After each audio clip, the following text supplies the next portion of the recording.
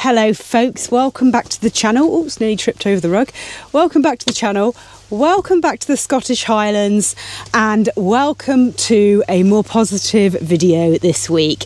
At the end of last week's vlog, it went terribly wrong. Storm Ashley came along, took me out, and took off the passenger door of the van. Not right off, but smashed it, and that's in a pretty bad way. We can't even open the door. But anyway, all of that is behind us. We're feeling more positive, and we've got a little bit of good news. Can you believe it? We've got a plan. We never have plans, but it's a good plan. It's a good plan. We're heading to Edinburgh. We'll talk about it when we get there. But where are we now? Well, we've come to Loch Awe, which is one of the prettiest lochs I think we've driven round. It's got the famous Kilchurn Castle on the southern end, which sort of sits on a little island or a little bit of land sticking out. And then in the background, you've got lovely mountains all around. All along the shores of the loch, there's pine forest with the lovely autumn colours going right down to the water. And then you've got all these beautiful buildings. Like we went to St Conan's Kirk, an eclectic church created by a man and his architect and mix of eclectic styles and it's just stunning stunning buildings sat on the shores and then we're just parked where we are now by this really lovely hotel and the building is amazing isn't it we're literally just down a little side road you don't hear the traffic at all and no one knows we're down here. Yeah. And then this like five, four, five star hotel just at the top there. The mm. castle that we went to last night that Nick was just telling you about, the Kill Kilchurn Castle. Kilchurn Castle. I mean, that's pretty amazing. You can pull down the road there and just have a little walk like through a farmer's field to kind of get close to it. Pretty impressive. Yeah, very nice loch. And um, there is a little train, like an abandoned train or something yeah. down there. So we've definitely got our mojos back now after what happened last week. To be honest with you, after the incident, we were actually ready to leave Scotland. We were like fed up. We were fed up with the rain, the wind. Do you want to go down, Diz? Before you continue, darling, can we just appreciate those socks? Well, they probably look better with my white trainers. So, yeah, it didn't take us too long to just be loving Scotland again. It's just such an amazing, epic country. Look at that, what a pretty little platform. Must be some beautiful train rides around Scotland, eh? Oh, we did find out, you know, the Glen Glenfinnan Railway, to take that train from Fort William up to Mallaig is £65 return. It's a hell of a journey. And I think it's actually on a lot of people's bucket lists because yeah. it's that awesome. Loving those socks.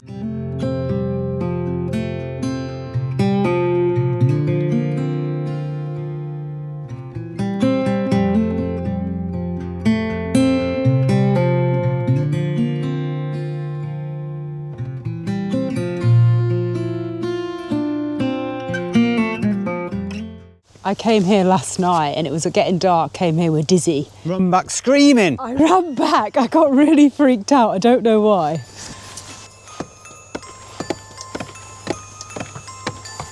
It's been left like this. It's it's like the bed's not even been made and things like that. And there's like an empty can of pop on the side and there's tea towels and things. Don't ask me why. It just looks like it's haunted. And it's all like kind of retro and old in there and it's just been abandoned. I mean, look at the views. You've got views over to the castle. You've got views of this beautiful loch and it's just sat there wasting away kind of thing. I don't know if, whether it belongs to the hotel. There's a sign on the gate saying it's like self-catering accommodation, but I don't think it's in use anymore. Come on, Charlie. So it says this 1954 railway carriage has been converted to comfortable self-catering accommodation. I think it must have been converted in 1954 and just left.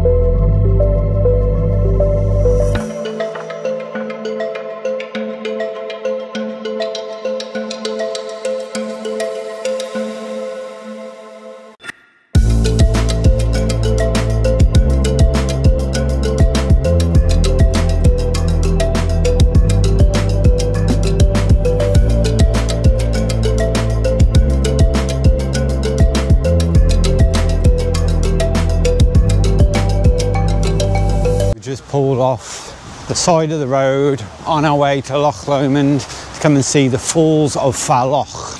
Falls of Falloch. I think it's a quick walk through here. We're hoping it's a quick walk through here. And we're not taking the doggies because it is muddy. Can't stop filming you walking with those socks. Well, I think the boots actually look better than me uh, green Trek trainers. So I've improved slightly since this morning. Oh, look at this. There's a cage for your safety. It's like something out of Jurassic Park Lost World, isn't it? You looked at this on Google Maps, you see images of people jumping from the little platform down there in the summer. You swam in Loch Ness. I think you could do it. I mean, how nice would it be in the summer jumping up, jumping from that little ledge there and just swimming round there? It's amazing, isn't it? Impressive. Definitely worth a little hike. That is the plus so when it does rain all the time, everything's really green and the waterfalls always have loads of water and loads of force. Now, I just said to Nick, we won't remember this waterfall. We won't, probably will we? I mean, it's quite nice, but we probably won't remember it unless. Unless on the way back through that big muddy patch, I push you in. No. Oh. Unless you get down to your pants and jump in, then you remember it for the rest of your life. Or Sarah puts on that Wonder Woman swimming costume she's got. She wore in the I lot. remember it for the rest of my life. See, this is why we didn't want to bring the dogs. it's not worth it, is it? Imagine how muddy they'd get, and then you've got to spend like an hour cleaning them before you can take them back in the van. It's got to that time of year, isn't it, where soon as you leave the van you get real mucky. I don't know, in Scotland, I think that time of year is kind of year round because of all the rain they get.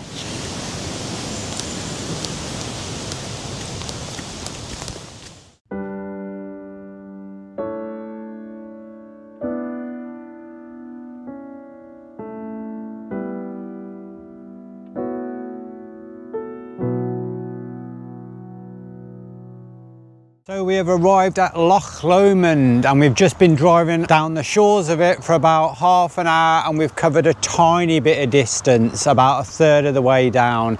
It is the biggest loch in Scotland and as usual the drive is absolutely stunning. It's just a windy road following the shore, beautiful colours on the trees, incredible. We found ourselves a fantastic little park up. I think there's a few of these along the shore and you're allowed to park here. You have to get a permit in the summer months, but you can camp here.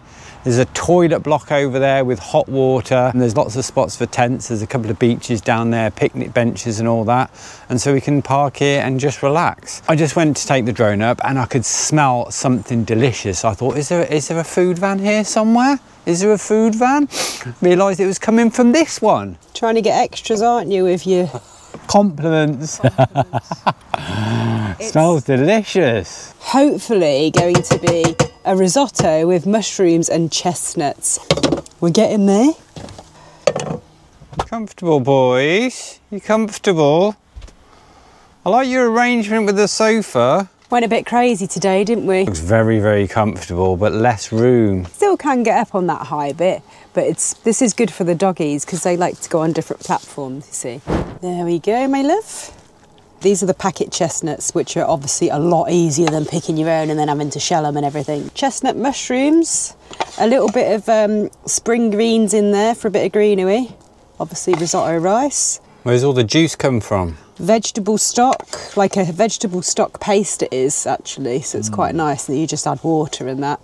And then, uh, yeah, that's it. Olive oil, a bit of um, soy sauce, some a bit of different spices and herbs to, taste, a bit of nutritional yeast. So I did go for my little walk and then I was walking back here, as I said, and I smelt something. You know, you get food envy.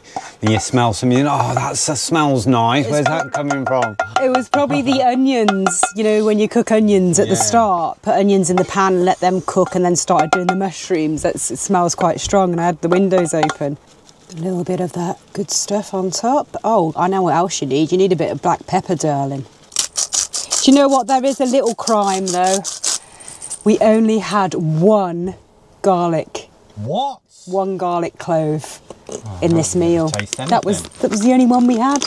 So at least it's one though, so there is a little bit of garlic. So you might be able to taste other things other than garlic in this meal for a change. Oh, look at that. Dizzy's actually being very considerate and sitting right on the end of the sofa there. So, so you got a good view of people to bark at. Usually they're stretched out. Look at this. There's like four sections to this sofa, isn't there? You've got the throne, the best section. Now I've got this tiny narrow section. No, you haven't. No, I haven't. I'm standing up as usual.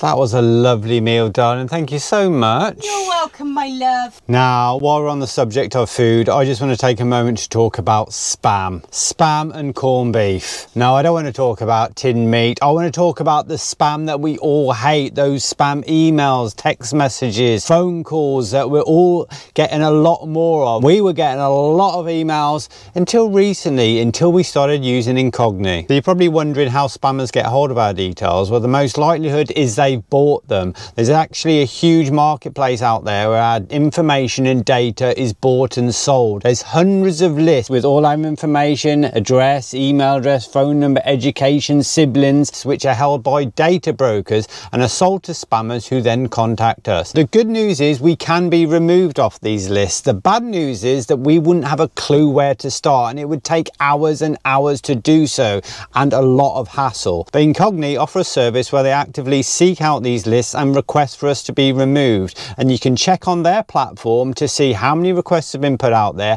how many have been completed, and how many are still active. Now, in the past, there have been lots of data breaches, which you've probably heard about, where people have had their social security number, amongst other information, stolen. But then people using a service like Incogni have been free from those breaches and their privacy has been kept safe. We have an annual subscription for Incogni, which is great because they're constantly monitoring these lists and this has massively reduced the number of spam emails we're getting through. If you're interested in signing up for Incogni, they're offering a fantastic 60% discount on an annual subscription and there's a 30 day money back guarantee so you've got nothing to lose. Click the link in our description for more information. So that's the spam sorted. Now what we're going to do about the corned beef. So this is our last loch It is. Scotland It's sad. for this trip. For this trip. Hmm, we are 100% coming back to Scotland, by the way, just saying, because obviously we haven't seen hardly any of. Well, we've seen a bit.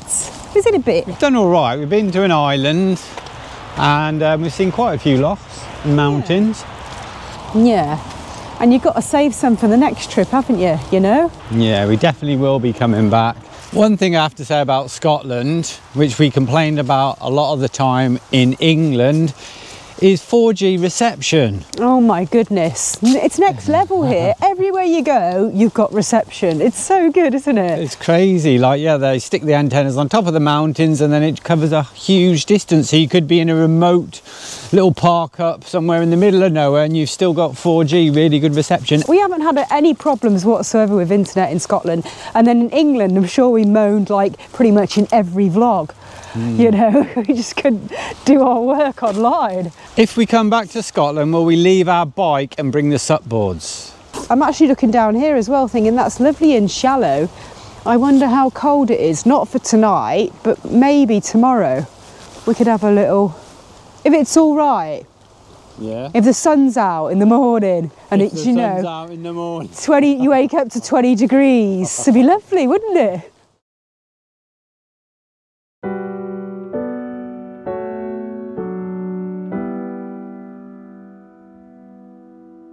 You can't just keep kissing those dogs all day. You won't get anything done. Now, guys, question for you. If you had to, you had to choose. What? if you had to choose one, because they were arguing, they were growling, they were barking, they were attacking each other, and we couldn't keep both of them, and you had to choose this one or this one. Yeah. Now, it's not going to happen, but if you had to choose either Dizzy or Charlie as your little dog, it's not going to happen. But if you had to, which one would you choose? Answers in the comments. That's Charlie Brown, the little honey bear, or little black pudding over there. Black pudding. Oh, oh, oh, don't get jealous. Mm. Anyway, Oh, anyway. you won't let me kiss Dizzy. Let me kiss Dizzy. See, this is where it starts, isn't it? This is where it starts. starts with a bit of jealousy over a kiss. Um, Anyway, we slept lovely in this location and um, we've just had a really lazy day, lazy morning. It's about two o'clock now. Oh, did you just hear the. Someone else do. Someone's just locked us in. Have you got the keys? Oh yeah, it's in my pocket. Oh, you just leaned against Maybe. there. I just heard the thorp go. On Anyway, Anyway, we've had have- you have lazy got the keys? Yeah. Right, okay. Yeah, we've had a really lazy morning. We haven't really done much at all apart from use the bathrooms here and um, be on our laptops. Nick's been gaming. He's actually been playing computer games and using all of our power. Uh, yeah, we've also been finishing off the video ready for YouTube and just been generally cuddling and kissing our dogs and just relaxing. Takes a It's lot of our time, that does, doesn't it? it's actually been a really nice morning, and yeah, kissing the dogs probably takes about 75 to 80% of our time. Would you say? Yeah. I have to say though, this is such a good spot, and I, I like how that you're legally allowed to just camp here right on the shores of the loch.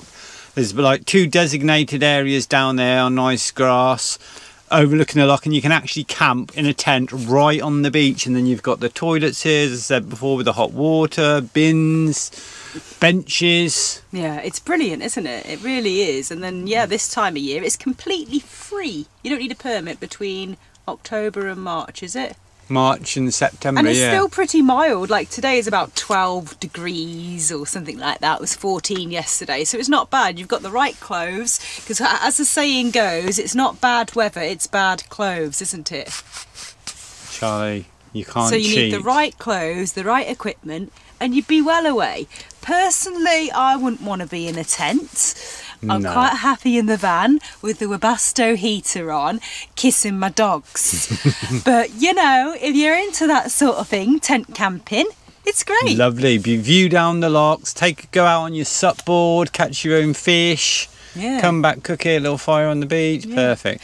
Anyway, we're going to continue south now. We're going to continue along the loch. I think it's still quite a, a long way because this is the biggest loch in Scotland. This is we drove about an hour and we got a tire like a third of the way down, so it's probably a couple of hours. So we're just Going going to enjoy speed. the views and, and see where we end up. Oh, that is perfect. Perfect. Absolutely perfect. And we've just driven past the little village of Luss, coming down this lovely little road. Yellow lines, double yellows either side, not many parking spaces. It's this spot for four vans or four vehicles, and we took the last spot, car just pulling away. Amazing. And just you look out to Loch now, and there's loads of little islands, little forested islands, which look really cool. So, really wanted to park up here and send the drone up and have a little look see.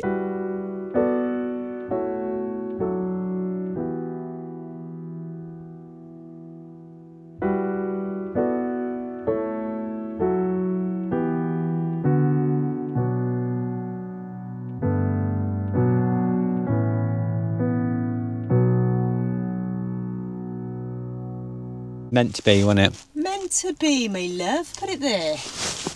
And this is only about. Oh, we've only driven about a 10 few, minutes. few kilometres, Yeah. literally, from where we were parked up. Very scenic little village which we've driven through. We're not going to be going back, but we'll have a little look round here. Make some food, I think, darling. Oh, yeah! oh something smells nice. Right, this today. Look at this bread.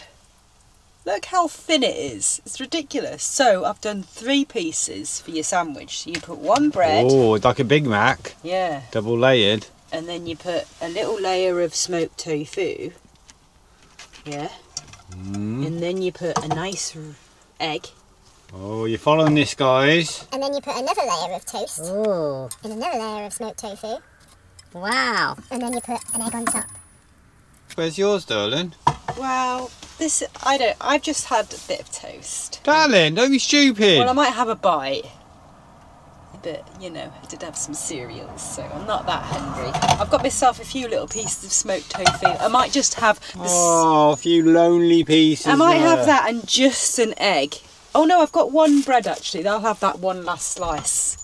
One last slice. There you go. Selfless, this one, selfless. So do you want any? I was going to say it might be nice with ketchup. Smoked tofu is quite a strong flavour. We so got ketchup.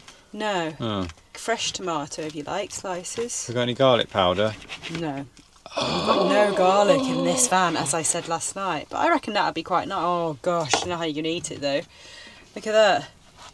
Oh, look at that, guys. Perfectly cooked eggs.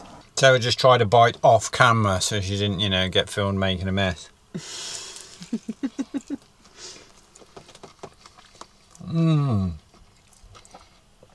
I love smoked tofu. Nice though, isn't it? The soft bread, soft egg, crispy tofu. Perfect. Mm. Nice little spot, this one, isn't it?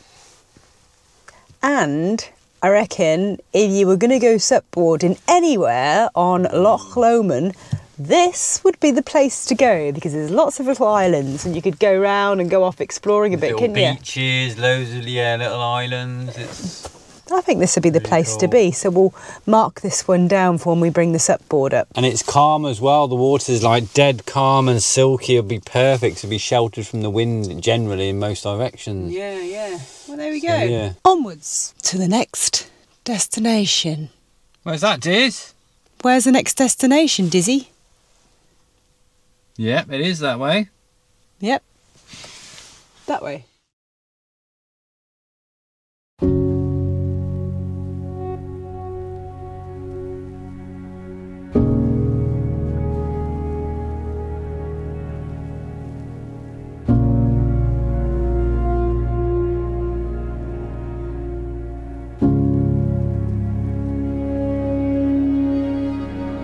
Good morning, guys, and you join us in Balloch. Balloch which is a little town on the southern end of Loch Lomond. Spent a peaceful night here. I've been in a little car park just across from Co-op, so you got clean toilets there. A couple of vans here last night. Car park's filled up now, and we're ready to leave. We're ready to leave, not just here.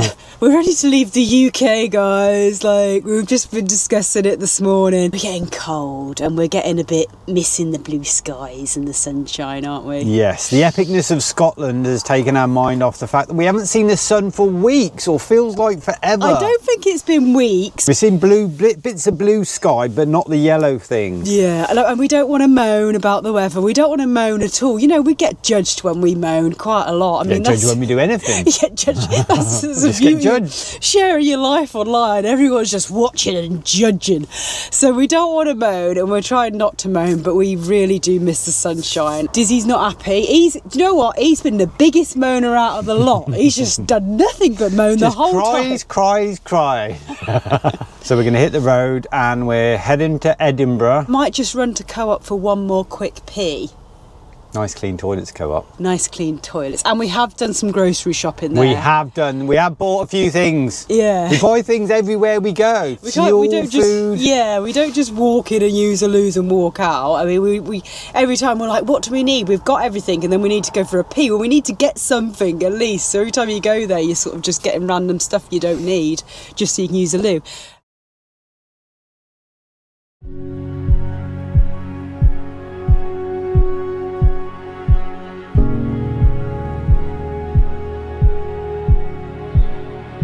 good morning Good morning. from edinburgh oh. edinburgh Let's not damage the van anymore. Yeah. Um, it's so typical. Today's completely clear, like sunshine. Like we haven't had any sun for ages and ages. I suppose because we've left the Highlands, the weather's Yeah. always going to be a little bit better. Literally the here. best weather we've had. Anyway, why are we in Edinburgh, darling? Are we going to say now? Or are we going to say Yeah. Yeah? Well, we won. We wanted to. We wanted to see the city. Obviously, we skipped past it on the way out because we'd already visited a few cities, and we just wanted to get up to the Highlands and explore up there. Um, but we did want to come to Edinburgh, and as it happens, we're here. So one to explore the city, but most importantly to get Velton, our van, sorted, Yes, fixed. yes, and that's what's happening. And yeah, before oh, it was always before we actually went home and did the long drive back down to Spain and Portugal. We always wanted to like make sure the van was good and give it a service, and now fix the broken passenger door and all of that. Because since we've had the van, we've never actually given it a good service, and obviously mm. we rushed up here, so we want to do all of those things, and that's why we're here in Edinburgh.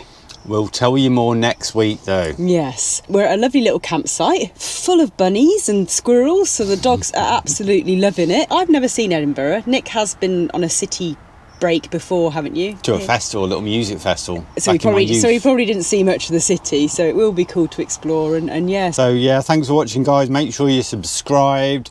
Hit the notification bell so you don't miss a video. Follow us on all our socials. For daily updates, goodbye Dizzy and Charlie. Goodbye everyone. See you next week everyone. And we'll see you all next week. Take care guys. See you next Thursday. This is how cute you can be if you use Nivea. This video is not sponsored by Nivea Cream. That looked like a right advert, didn't it? Placed perfectly there. It's not sponsored by Nivea, but get in touch Nivea if you would like us to do a sponsor video for you.